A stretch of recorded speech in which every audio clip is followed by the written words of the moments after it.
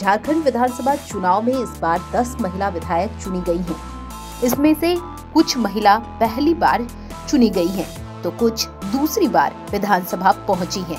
इसमें से कुछ के पति तो किसी के पिता दबंग रह चुके हैं हेमंत सोरेन की भाभी सीता सोरेन भी चुनाव जीती हैं। वहीं बड़का गाँव से जीती अम्बा प्रसाद सबसे कम उम्र की विधायक बनी है कांग्रेस की दोनों महिला विधायक का परिवार दबंग झरिया विधानसभा सीट से कांग्रेस की टिकट पर पहली बार पूर्णिमा सिंह की जीत हुई है। पूर्णिमा सिंह के पति नीरज सिंह थे।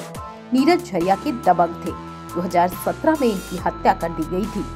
हत्या का आरोप चचेरे भाई और विधायक रह चुके संजीव सिंह पर लगा है। वहीं बड़का गाँव से विधायक अंबा प्रसाद के पिता योगेंद्र साहू भी दबंग किस्म के हैं। वह खुद विधायक रह चुके हैं। योगेंद्र पर 24 केस दर्ज है। इसमें रंगदारी से लेकर हत्या तक का मामला दर्ज है। फ़िलहाल वह जेल में बंद है। हेमंत सोरेन की भाभी समेत ये महिलाएँ जीती।